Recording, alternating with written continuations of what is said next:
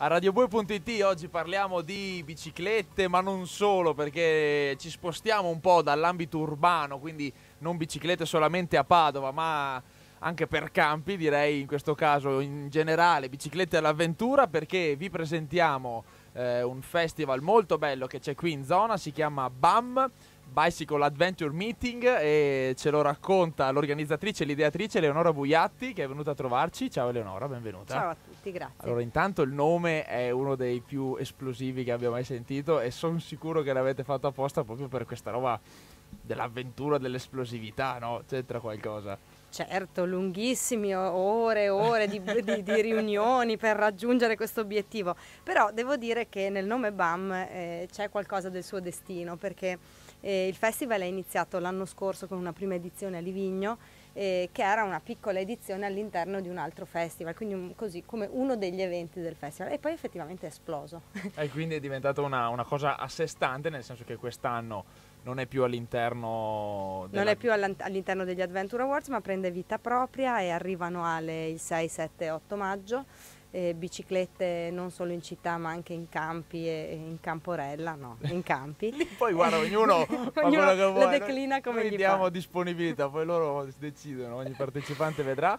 Ma la scelta del nome, scusa se ci torna, a me è piaciuta tantissimo, ma è successa quella roba no, che fai le riunioni, dici oh, oh chiamiamolo BAM ragazzi, e, e, l'ultimo nome buono è diventata la scintilla oppure... No, allora eh, la speranza che esplodesse probabilmente era nel cuore di tutti noi, eh, però non, non, era quello il, il brief iniziale eh, ovviamente è un acronimo, quindi Bicycle Adventure Meeting, eh, che poi in sé sta diventando anche European Bicycle Adventure Meeting perché abbiamo visto che arriva gente un po' anche da, da Oltralpe, dalla Spagna, dalla Germania, dall'Austria. Hanno tutta una dimensione internazionale, soprattutto per la parte che riguarda il cicloturismo e le esperienze che poi porterete anche al meeting. Eh, però prima di parlare de- del programma vero e proprio, volevo che ci raccontassi un po' la filosofia del festival, perché oltre ad essere un incontro di appassionati di bicicletta, di meccanici, di pedalatori più o meno folli, ci avete costruito o a questo punto è emersa uno, uno, stile di vita proprio direi? No, diciamo che lo stile di vita è proprio il cuore della manifestazione.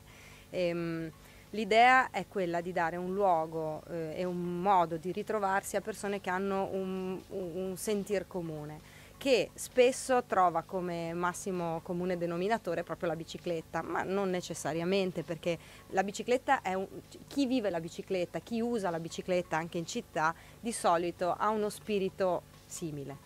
Um, il ciclo viaggiatore è un soggetto che non trova grandissimi luoghi in cui confrontarsi con altri soggetti come lui e, e questa è stata la prima spinta però l'idea è quella di un turismo slow, eh, quella di un turismo anche economico, eh, anche di uno spostarsi dal lavoro a, a casa. Il commuting, no? quelli, che si, quelli, che si, vestono a cipolla, come si diceva una esatto. volta.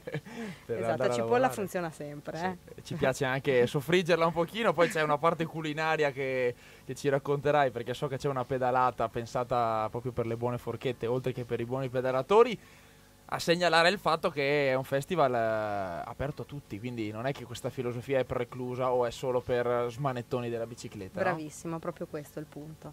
Non è per smanettoni della bicicletta, ma per chi vive la vita in un certo modo. E vedo qui una scritta, bisognerebbe tentare di essere felici se non altro per dare il buon esempio. Ecco, un po' questa cosa qui. Forse pedalando può funzionare. Senti, questa filosofia secondo te è in qualche maniera adatta anche al mondo dell'università? Potrebbe incastrarsi? Beh, ci mancherebbe, cioè se, se, non si cerca di essere felici quando si fa l'università e si sta costruendo il proprio futuro sulla base di una propria passione, quando si può esserlo? Bravo, questo a me è piaciuto, no? per, soprattutto per chi sta facendo degli altri esami, questa è una filosofia che, che può essere interessante applicare anche in momenti di studio. E poi, oh, eh, secondo me, ecco, il mondo degli studenti e il mondo dell'avventura magari combaciano, no? Poi al BAM si potrà campeggiare, si potrà mettersi lì un po' la bella e meglio e tante volte gli studenti vivono questo periodo della vita proprio in questa maniera qui. Ma infatti siamo noi che ormai studenti non siamo più che vogliamo tornare ad essere studenti accampandoci, muovendoci in bicicletta, cioè la nostra aspirazione è diventare come voi. Quindi insomma venite a darci il buon esempio. No? Potrebbe essere una bellissima idea anche perché eh, la location di cui dicevamo prima, la Rocca di Noale, dove si potrà campeggiare è, è un'avventura in sé, nel senso che è, è la prima volta che si Sì. può dormire lì, se non Hai sbaglio. studiato molto bene. Ho bravo. sentito il sindaco che era, pre- era contentissimo, ma molto preoccupato, questi mi mangiano le mura, e invece no. No, saremo... tutti molto educati e attenti perché la Rocca comunque è un monumento antico e va rispettato, ma io sono convinta che chi viene, chi sente questo spirito non, non si metterà a fare eh, a, a usare lo spray sui muri, le, le mura della rocca, quindi sono veramente serena. All'interno della rocca antica, quindi delle antiche mura, c'è un'area verde in cui per la prima volta si potrà campeggiare, in effetti, basta venire con la tenda, prenotare pro- la propria piazzola, si dorme lì e... mm, e mm, così eh, è un- una curiosità che potrebbe essere interessante, prima ci dormivano solo i morti perché era un cimitero. Quindi adesso si torna alla vita in ogni Torna caso.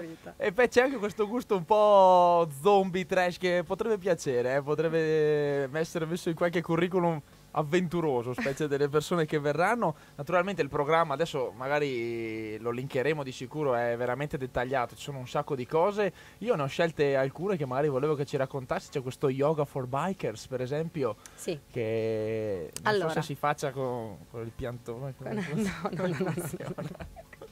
Le biciclette a lato. Ok. No, no, è uno yoga normale, solo che è studiato per chi sta per partire in, bici- in bicicletta e per chi torna dal- da una lunga pedalata. Quindi si concentra sul rilassamento, il potenziamento di alcune fasce muscolari. Eh, Tutto Chi ha pedalato tanto magari ha presente cosa sono quelle articolazioni e anche alcune zone del corpo, direi così, che sono particolarmente sottoposte a stress Certo. e quindi magari... Ma poi come sapete lo yoga, eh, per lo yoga è molto importante lo scaricamento a terra e se ci pensi quando vai in bici invece i piedi sono sempre sollevati, tu non, non tocchi terra e quindi gioca molto anche su questa cosa, l'energia che passa dalla ruota al piede. Insomma. E tu lo farai? fare. Farai yoga for bikers Ma io- oppure sei, dici no, vai, devo fare le foto ragazzi, mi dispiace. No. No, no, no. Io eh, in quei giorni penso che dovrò scaricare un sacco di scatoloni e risolvere un sacco di problemi, però se riesco a ritagliarmi quell'oretta per eh, non pensare a niente, magari. Ti piacerebbe, sì. La dimensione internazionale, lo dicevamo prima, un'altra cosa bella del festival è che ci sono tanti ospiti che verranno a raccontare i loro viaggi che oltre a essere belli da vedere, spesso sono insomma inspirational direi. Yes. Yes. Allora, sono persone che non hanno palcoscenici in Italia. Veramente non ne hanno e hanno delle storie da raccontare meravigliose. Adesso piano piano vedo che un po' la TV, un po' la radio, insomma, stanno iniziando ad interessarsi a questi soggetti che fanno delle scelte particolari di vita, perché c'è quello che molla tutto e va in bicicletta per tre anni a fare il giro del mondo, c'è quello che viaggia in solitudine, c'è quello che viaggia con la famiglia, c'è anche quello che ogni giorno, dopo aver appoggiato la penna sulla scrivania del suo ufficio, va a farsi un allenamento in bicicletta o ritrova un contatto con la natura, va nei boschi, insomma sono delle tendenze, tendenze pare brutto perché sa di moda, però insomma sono delle attività che vedo che hanno sempre più riscontro. E quindi io parlando con la gente mi sono resa conto di quante persone vorrebbero provare a fare qualcosa del genere ma non conoscono nessuno che lo fa, non sanno come fare. E quindi qui si instaura l'inspirational che c'è in Bravissimo. voi. Quindi dici, "Ah, ragazzi, ma sì che si può fare, anche se fai Certo. otto ore di ufficio, prendi una bici, ti fai il tuo giro. Da un lato sogno il mio supereroe che ha mollato tutto e ha fatto il viaggio in Patagonia e dall'altro lato invece eh, vado a pedalare con qualcuno che... È bello che ci sia questa dimensione normale no, della pedalata e che Sì. non sia solo eh, il ciclista super attrezzato e con tutto il kit che insomma Siamo un molto costo magari. sgangherati. Eh, Siamo molto sgangherati. E questo agli studenti piacerà molto, credo, perché eh, magari qualcuno può venire anche con una bicicletta diciamo non proprio super tecnica. No, Eh. no, la bicicletta super tecnica non è necessaria ed anzi, come giusto... Diciamolo, oh, diciamolo ragazzi, non siamo dei... non- cioè, questi del festival non sono dei fissati per No. forza, No, no, no. biammortizzate, cose... No, no, no, anzi, lontanissimi dallo spirito della gara, della performance. Come dicevamo noi, eh, si poteva davvero pensare di invitare tutti gli studenti a venire al BAM con le biciclette più sgangherate che hanno. E poi Ecco. il- vince non chi arriva prima, ma chi arriva. Ok, per la felicità dei meccanici e degli espositori che saranno lì e poi si troveranno a cambiare camere d'arie.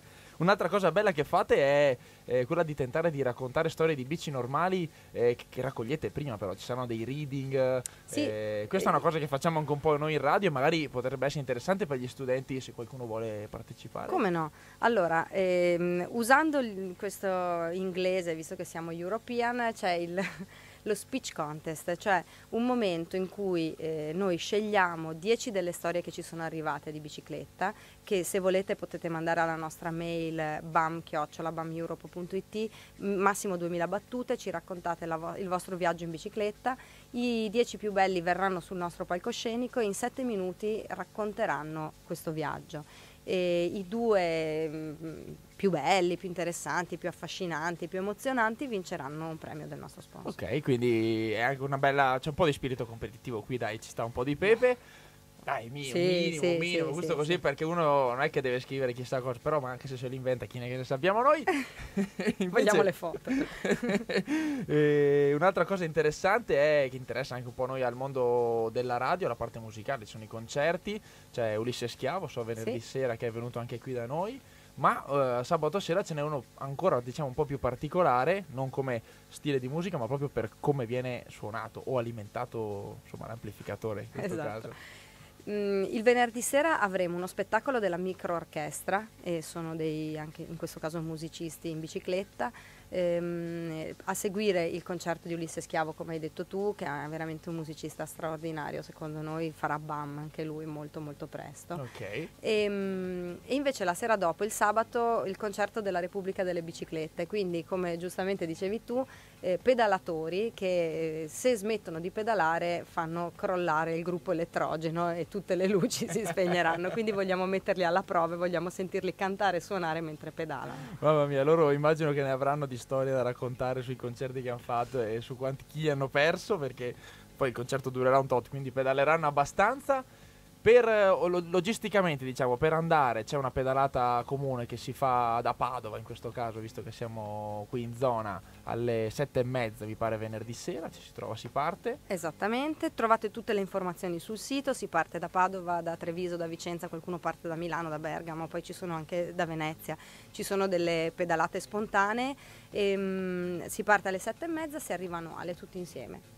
E poi si mangia lì, ci sono delle birrette, ci sono degli stuzzichini e dei corroboranti per la pedalata e poi ci sono le pedalate, insomma trovate un sacco di roba, si magna, si pedala, si incontrano persone e, e credo proprio si starà bene. Speriamo di sì, Ecco, speriamo che ci sia anche bel tempo. ci sarà sicuramente, se no ragazzi mantelline si pedala lo stesso. Bravo, bravo, bravo. No, per pedalare si pedala lo stesso, su quello non ci sono dubbi. I pedalatori non si fermano, certo, la mattina se piove si mette la mantellina, si va a lavorare lo stesso con la bici. Va bene, allora grazie mille Eleonora che ci ha raccontato BAM, il sito è www.bameurope.it, c'è la pagina Facebook, c'è tutto, quindi vi aspettiamo il 6, 7 e 8 maggio a Noale in una location fantastica. Grande, Ok. grazie. Ciao a tutti. Ciao.